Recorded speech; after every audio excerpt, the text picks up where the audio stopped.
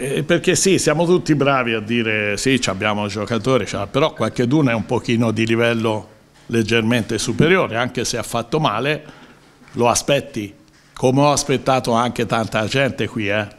A Riccardo Maniero ed Antonio Di Gaudio, dopo le dichiarazioni di Piero Braglia, saranno fischiate le orecchie ed avranno anche recepito la stoccata, considerando che entrambi, dopo appena 48 ore, hanno risposto presente alla chiamata.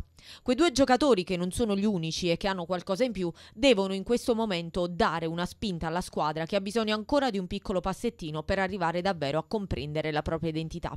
Maniero e Di Gaudio, in questo senso, non possono essere dei veri trascinatori, fosse solo per il fatto che conoscono il campionato passato, ne percepiscono le insidie e sanno come evitarle.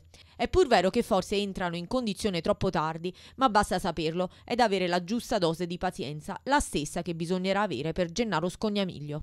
Uno dei pochi che parla, che parla in campo, che con la voce ti aiuta, l'avevamo preso per questo, l'avevamo preso per questo, finora per una serie di circostanze non abbiamo mai avuto. Speriamo che le attese siano brevi e che possa quanto prima darci la mano. Pazienza dunque è la parola d'ordine. Varrà anche per chi lo scorso anno ha tirato la carretta, ma quest'anno sta dando davvero poco alla causa. Carriere da Loi su tutti restano elementi importanti, utilissimi alla causa. Ma il tempo è tiranno, diceva qualcuno, e purtroppo scorre troppo velocemente, soprattutto se gli altri corrono come il vento.